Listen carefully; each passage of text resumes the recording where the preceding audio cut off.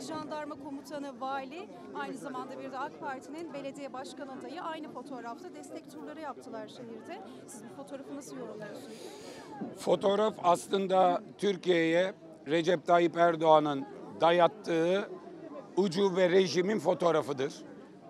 Recep Tayyip Erdoğan'ın dolma kalemi aynı mürekkeple sabahleyin il başkanı atıyor Şırnak'a, öğleden sonra vali atıyor. İkisi aynı mürekkebin insanı oldukları için birlikte gezip kampanya yapmayı da normal sanıyorlar.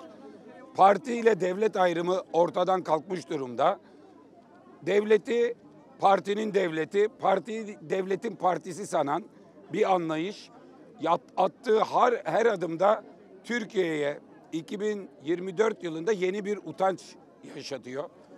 100 yıl önce bu cumhuriyet kuruldu ve çok partili rejime geçirmekle övünüyoruz biz bu ülkeyi. Recep Tayyip Erdoğan 100 yıl sonra tek partili rejime geçirmeye çalışıyor. Devletin bütün imkanlarını bir partiye ve bir partiyi de devletin partisi gibi görüyor. Bu o fotoğraf bu ucube rejimin fotoğrafıdır ve Türkiye'nin demokrasi tarihinde bir köşede en karanlık fotoğraflardan bir tanesi olarak yerini almıştır. Ümit ediyoruz bir gün demokrasi müzesinde demokrasimiz böyle de bir badireyi atlattı diye o fotoğrafı sergileyeceğiz. Teşekkürler Sayın Başkan. Sizi de hemen yan yana bulmuşken soralım.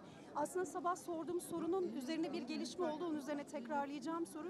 E, TRT Haber'in yayınına katılan e, rakibiniz Sayın Kurum bir ortak yayın olabilir mi e, önerisi gelmişti. Kendisi neyi konuşacağız, projeleri konuşamayız ki kendisi İstanbul'u bilmiyor deyip kapıyı kapatmıştı. Siz de sabah aslında buna açık olduğunuzu söylemiştiniz. Şimdi verdiğiniz cevap üzerine tekrar konuştu ve e, sizin bu ortak yayın davetinizi samimi bulmadığını söyledi. Üzerine siz neler söylemek istersiniz? Bir ortak yayında görebilecek miyiz sizi Binali Yıldırım'da olduğu gibi? Acemi genel başkanım, acemi hatayı yapacak bir şey yok. Deneyecek çok bir şey yok yani. Milletimiz kanaati kararı görüyor zaten. Ee, Biz yine de e, medeni bir ortamda bu tür tartışmaların olmasından yanayız. Ee, Onun dışında verdiği cevaplar falan zaten hani biraz seviyesi düşük ona cevap vermek istemiyorum. Teşekkür Efendim, ederim. Cumhurbaşkanı Erdoğan gittiği her ilde aslında İmamoğlu'na yönelik söylemlerde bulunuyor. E, aslında İstanbul adayınız e, İmamoğlu da neredeyse e, hem Erdoğan'a karşı hem de kuruma karşı İstanbul yarışını sürdürmeye çalışıyor. Siz ne söylemek istersiniz? Kurumun kurumun yerinde olmak istemezdim. Çünkü Erdoğan'ın Sayın Ekrem İmamoğlu ile ilgili başkanımızla ilgili söylediği her şey kendi adayını kifayetsiz gördüğünü, yetersiz gördüğünü, Ekrem Başkan'la baş edemediğini düşündüğünü gösteren yaklaşımlar. O yüzden e, aslında Erdoğan bu her sözüyle, her adımıyla bu Murat Kurum'dan olmayacak galiba. Olmayacağını anladım. Mecburen bu kampanyayı benim yürütmem lazım diyor. Zaten Ekrem Başkan'la da geçtiğimiz günlerde otobüsle halkı selamlarken e, Sayın Erdoğan'ın resimlerini görünce başkan esas rakibim burada. Öbürü değil de bu rakibim diye bana göstermişti. Bunu tescil ediyorlar, bunu kabulleniyorlar. E, size de sormak istiyorum efendim. Gene Murat Kurum bugün katıldığı bir programda sizin hakkınızda sen burayı yarı zamanlı belediyecilik yaparak yönetemezsin. Sen bu em- emanete sahip çıkacaksın ya da 31 akşam 31 Mart akşamı Saraçhane'yi terk edeceksin dedi. Ne söylemek istersin? Yani gerçekten e, söylemleri ve ifadeleri cevap verilecek e, şeyde değil. Yani seviyede değil. Üzülerek söylüyorum.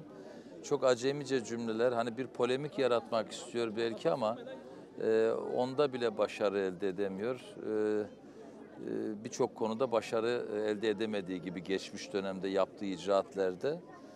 Yani bir daveti bile eline yüzüne bu- bulaştırdı. Herkesi zor duruma düşürdü. Bizim nezaketle söylediğimiz bir cümleye atlayıp hayır davet edilmedi deyip ortada bir fırtına kopardı. Sonra da e, davetten bir gün sonra da koltuğu vardı niye gelmedi dedi. Yani dolayısıyla ben hani cevap versem bir türlü vermesem bir türlü kendi haline bır- bırakıyorum.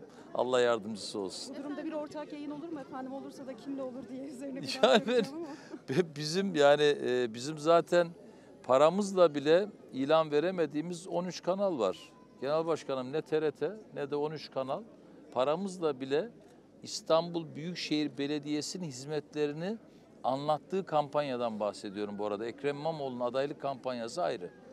Onu bile yayınlamayan televizyonlar var. Onların herhangi biri olur, sorun yok. Size davet gelmedi mi? Kurum çünkü dün yayına çıktı ama so- sonrasında size Yok, böyle bir bize davet bize bize hiçbir davet gelmedi. Hiçbir Efendim, davet gelmedi. Murat Kurum anketlerde önde olduğunu söylüyor çok sık bir şekilde. Size gelen bir anket sonuçları var mı? Ona gelen anketlerde önde olabilir. Ben milletin anketine bakıyorum. Gayet iyi gidiyor. Günü geldiğinde biz sizi anket konusunda sağlıklı bir şekilde bilgilendiririz. Sayın Genel Başkan, dün Çorlu'daydınız, davayı takip ettiniz. 10 dakika içerisinde dava ertelendi bir kez daha. Aileler yıllardır toplumsal bir katılım talep ediyor bu davaya. Siz de gerekirse bir sonraki duruşma bin kişi burada oluruz demiştiniz. Bir çağrınız olacak mı? Siz de gidecek misiniz tekrar Çorlu'ya? olacak 25 Nisan günü biz çok kuvvetli bir kadroyla ve çok sayıda arkadaşımızla birlikte yine orada olacağız. Binlerce kişi orada olacağız. Çünkü dün kalabalığı gördüklerinde ve toplumsal sahip çıkışı gördüklerinde davayı ertelemek için sabah erken saatlerde bir rapor aldırmışlar hakime. Bu işin kaçışı yok. Biz adalet rayların altında kalmasın diye 25 Nisan'da da Çorlu'da olacağız.